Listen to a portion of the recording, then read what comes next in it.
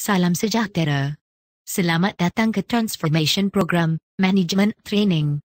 Untuk makluman anda latihan ini dijalankan dalam bahasa Melayu. Kenapa? Supaya berkesan dan mudah disampaikan kepada setiap peringkat daripada pihak pengurusan sehinggalah ke operator. Alih bahasa diperlukan sekiranya terdapat pekerja asing. Mari kita renungkan. Ahli futurisme dan ahli falsafah Alvin Toffler pernah menulis, orang buta huruf abad ke-21 bukanlah orang yang tidak dapat membaca dan menulis, tetapi mereka yang tidak boleh belajar, meninggalkannya, dan belajar semula. Oleh itu saya mengharapkan kita mengeluarkan sedikit air yang telah penuh dari cawan diri kita, iaitu dalam hati. Kita beri ruangan kepada diri kita sendiri, untuk kita belajar semula.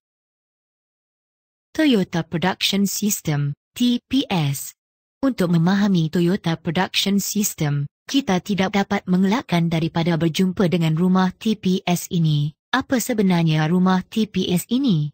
Ia merupakan rumusan daripada pengalaman-pengalaman best dan juga bad practices, amalan baik dan buruk, yang telah berlaku dalam grup Toyota, sepanjang mereka melaksanakan penambahbaikan operasi mereka sehingga ke hari ini. Ia merupakan CV ataupun jadual berkala bagi cara fikir yang betul di dalam menguruskan operasi pengeluaran ataupun perkhidmatan. Cara berfikir yang betul inilah sebenarnya Toyota Production System, bukannya tool atau alatan yang diperkenalkan mereka, alatan hanya membantu. Mari kita fikirkan satu contoh klasik iaitu mengadakan sistem Pokayoke atau sistem mencegah kesalahan di dalam production line. Walaupun sistem tersedia, defek kualiti masih keluar ke final lain. Kenapa? Kerana mampu tiada berdisiplin meminta sistem. Kerana persukitaran kerja tak normal, menyusahkan kerja, menyebabkan mampu mencari jalan pintas. Kerana kedua-dua A dan B, malah sudah lama berlaku, tapi tiada pemantauan dan tiada maklum balas semua orang anggap perkara yang abnormal telah menjadi normal. Contoh tersebut sangat tepat bukan? Sebab itulah sekiranya tiada cara berfikir yang betul, mempunyai sistem automasi masih menyebabkan operasi dalam risiko yang tinggi, malah lebih suka untuk difahami, untuk memahami prioriti, dalam model rumah TPS, seperti di dalam gambar raja. Ianya bermula daripada lapisan yang paling bawah iaitu lapisan tanah atau lapisan asas. Lapisan tanah dan asas yang sekiranya tidak kuat, akan meruntuhkan keseluruhan bangunan TPS. Kesimpulannya berbalik kepada unsur terpenting iaitu manusia tanah dan asas kepada sistem ini adalah sikap manusia, iaitu cara berfikir manusia. Hanya sikap yang normal akan menjadikan sistem boleh terbina. Oleh sebab itulah kita mesti melakukan transformasi sikap manusia. Dan asas transformasi membentuk sikap manusia adalah disiplin, kerjasama dan komunikasi. Sekarang kita semua sudah tahu keadaan sebenar, maka apa yang boleh dibuat sekarang? Adalah belajar menukar minda dan cara operasi kerja ke arah liberalisasi, cara orang global, cara berfikir yang normal, bermula sekarang. Perubahan yang nak dilakukan adalah berfikir mengikut panduan daripada best practice orang global, iaitu Toyota, melalui sistem berfikir yang selalu kita dengar, tetapi kita tidak faham sepenuhnya, iaitu Toyota Production System. Apa yang diperlukan untuk marah kehadapan adalah kepercayaan dan keyakinan, sistem yang telah diamalkan sebegitu lama di Toyota ini, yang menjadikan mereka peneraju automotif dunia, mampu membantu untuk mengubah operasi kita. Akan tetapi sekiranya kita tidak mahu berubah dan masih percaya apa yang kita sedang lakukan adalah yang terbaik, maka latihan ini terhenti di sini.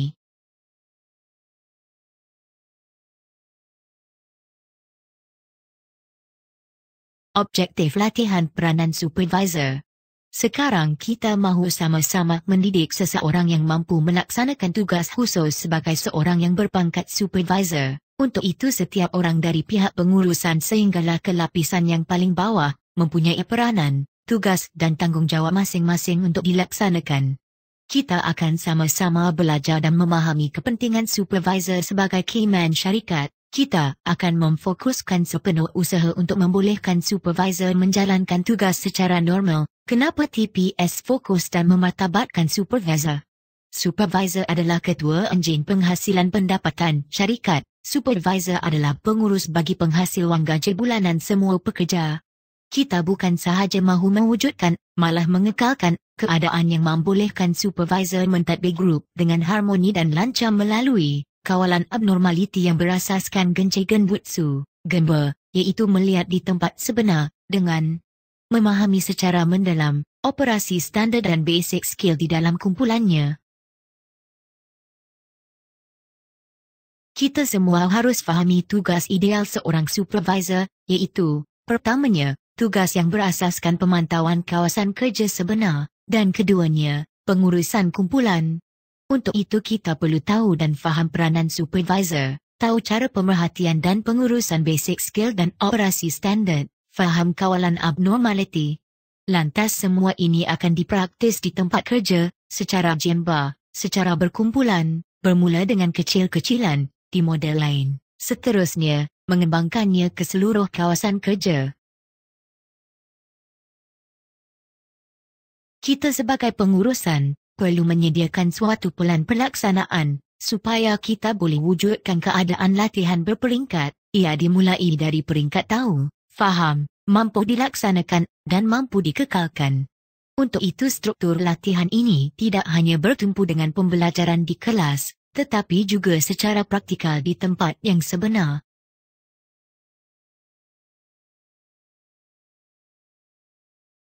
penyusunan kerja supervisor. Seperti yang telah dimaklumkan sebelum ini, walaupun tumpuan kita ialah untuk melahirkan key man itu supervisor, bagaimanapun setiap orang dari peringkat pengurusan, sehinggalah ke peringkat ahli kumpulan, mempunyai tugas dan tanggungjawab pelaksanaan peranan masing-masing. Berikut adalah senarai tugas dan tanggungjawab setiap lapisan dari tim member sehinggalah ke peringkat pengurusan. Ini adalah standar dalam sistem Toyota ia bukanlah hanya sekadar suatu senarai, tetapi di suatu peringkat nanti, pihak pengurusan perlu membuat pelaksanaan, bagaimana menterjemahkan tugas dan tanggungjawab ini ke dalam kerja seharian. Kefahaman dalam menterjemahkan tugas dan tanggungjawab inilah yang akan menjadi penentu dalam kejayaan pelaksanaan TPS. Apakah itu operasi standard? Kita telah pun berulang kali menyebut perkataan ini sebelum ini. Operasi standar ialah satu kaedah yang paling selamat dan efisien untuk menghasilkan produk, dua pada aliran seimbang atau smooth flow, ada buffer untuk tampung sebarang abnormality di dalam tak time. Tiga dipecahkan kepada elemen kerja yang tersusun dan terancang dan senang diulangi. Tu yang biasa digunakan untuk ini ialah proses sequence sheet, PSS, work instruction sheet, WIS, Raja Kitaran Kerja, empat di dalam Quality Standard. Tumpuan bermula dengan stop outflow di final Quality Gate. Seterusnya pengukuhan dilakukan di dalam proses secara self-inspection in process atau pemeriksaan sendiri di dalam proses. Proses inilah yang biasanya dipanggil built-in quality atau BIQ. Maka, operasi standard adalah keadaan yang membolehkan pengeluaran produk dengan selamat pada aliran seimbang dengan kitaran elemen kerja yang mudah diulangi, melepasi standard kualiti dan kecekapan tertinggi. Soalan, bagaimana hendak melakukan operasi standard? Jawapannya ialah, semua orang kena buat besuk kitaran yang membolehkan operasi standard, boleh dilakukan. Mari mencari abnormality, senaraikan dan sama-sama kita bincangkan.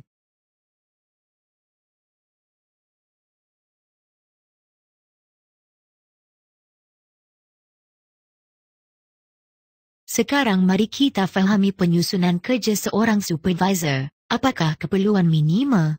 Kita bincangkan elemen kerja yang pertama, iaitu pemeliharaan keadaan yang boleh menghasilkan production. Supervisor perlu mengaturkan kesemua empat elemen penting untuk menjalankan dan membolehkan production berjalan secara normal iaitu man, machine material, dan method. Apa terjadi sekiranya salah satu dari elemen tersebut tergendala? Maka production tidak dapat dihasilkan. Elemen kerja yang kedua adalah operasi standard. Elemen ini dapat dipecahkan kepada dua keadaan, iaitu semasa keadaan normal dan juga semasa keadaan abnormal atau tidak normal. Dalam setiap keadaan tersebut operasi standard mestilah jelas.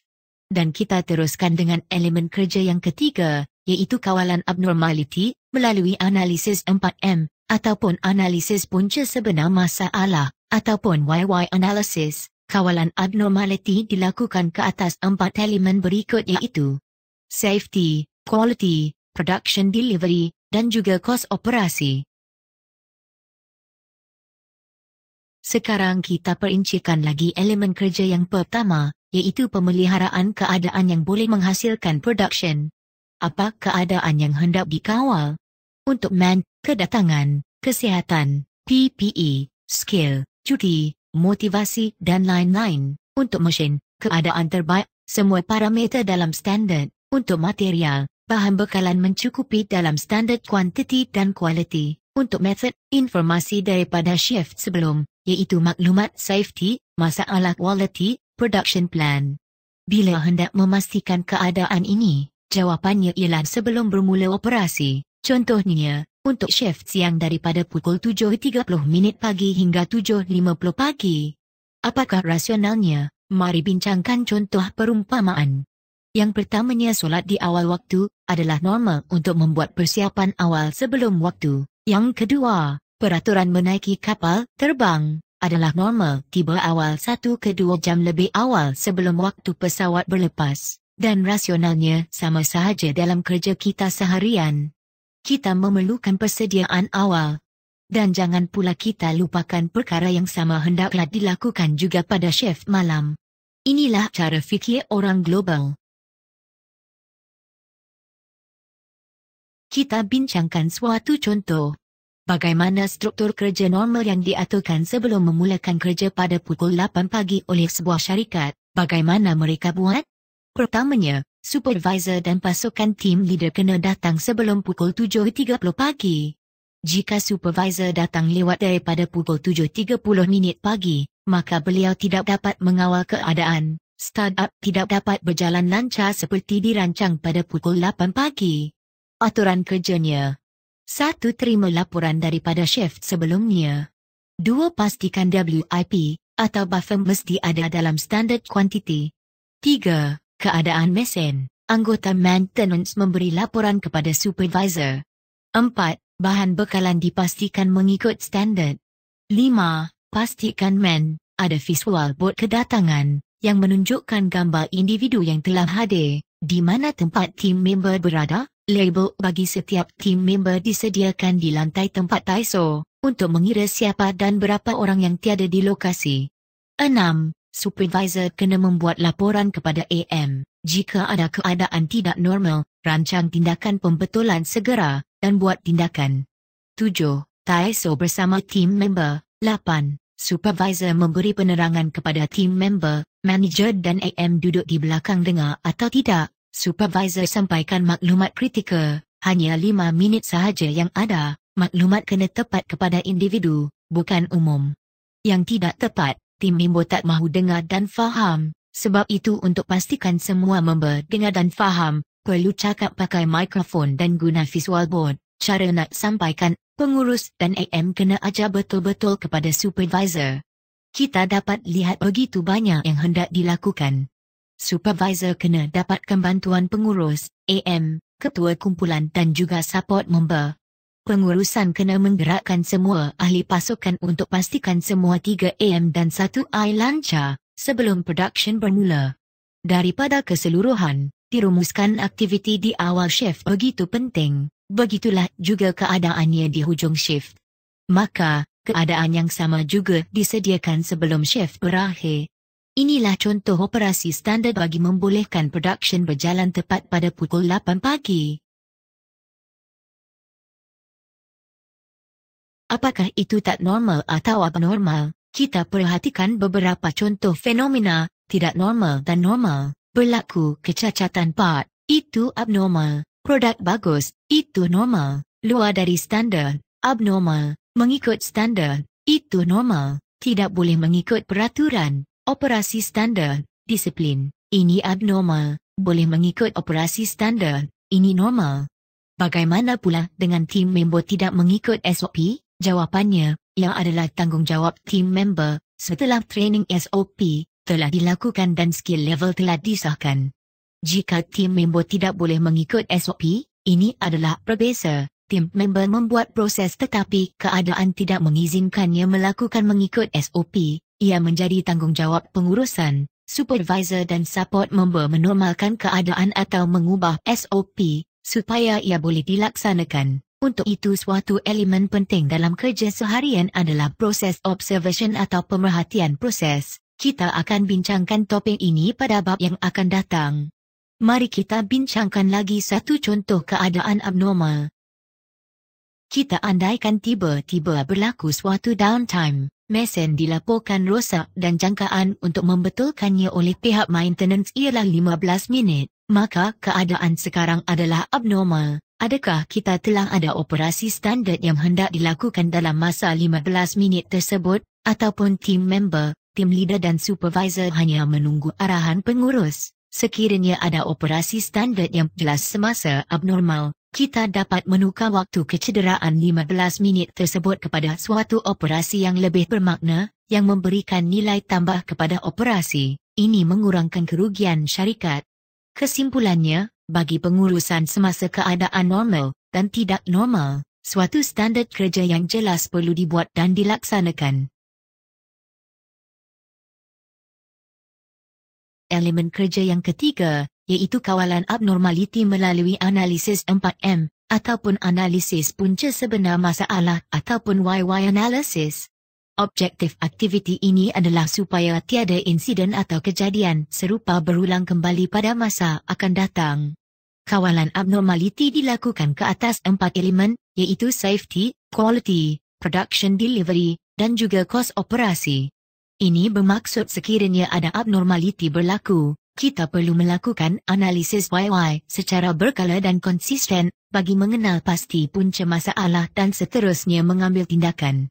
Keadaan tersebut dilakukan bagi setiap abnormaliti yang berlaku dalam kategori safety, quality, production, dan juga kos. Bagi elemen kerja ini, supervisor tidak bekerja sendirian. Beliau sebagai tuan tanah, menjadi koordinator kepada semua ahli pasukan termasuk support group.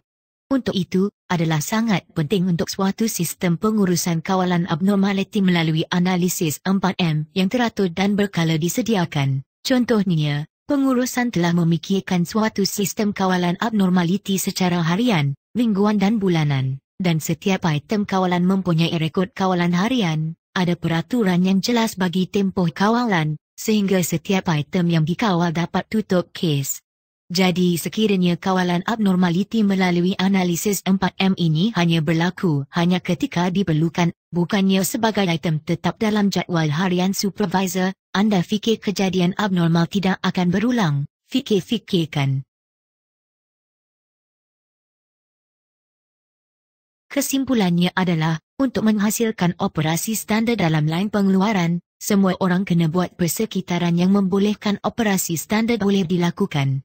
Jadual berikut adalah senarai tugas dan tanggungjawab minimum bagi setiap lapisan, dari tim member sehinggalah ke peringkat pengurusan, yang menggambarkan tiga elemen kerja yang telah kita bincangkan. Kita rumuskan sekali lagi peranan, tugas dan tanggungjawab setiap lapisan pengurusan lain seperti berikut. 1. Menghasilkan keadaan yang dapat mengeluarkan produk yang berkualiti. Sebelum lain bermula, periksa maklumat kualiti, operasi shift satu lagi, kedudukan proses untuk hari ini dan keadaan gemba. 2. Menjalankan produk berkualiti melalui pemeriksaan turutan kerja seperti yang ditetapkan, dipatuhi bermula dari part yang pertama lagi, perkongsian maklumat sesama supervisor. 3. Persediaan sebelum dan selepas rehat, sebelum dan selepas rehat, berkomunikasi dengan team member, Periksa adakah proses mengikut turutan kerja yang ditetapkan dan dipatuhi bermula dari part yang terakhir sebelum rehat, dan part yang pertama selepas rehat. 4. Menghasilkan keadaan untuk shift satu lagi.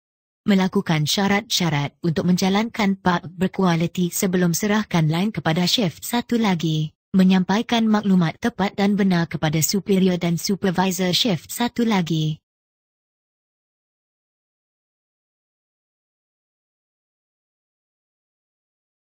homework. Untuk lakukan semua kerja startup, berapa orang yang diperlukan sebenarnya? Kerja persiapan adalah wajib dibuat. Satu cara supervisor datang awal dan melakukan pembahagian tugas. Bagaimana mahu buat? Timbangkan semua faktor, HR, union, dan sebagainya. Tetapkan senarai kerja standard mengikut masa, hasilkan schedule atau jadual, membuat sistem mekanisme untuk menjalankan pengeluaran. Jika boleh, adakan peralatan, contohnya whistle, pembesar suara, visual buat, dan sebagainya.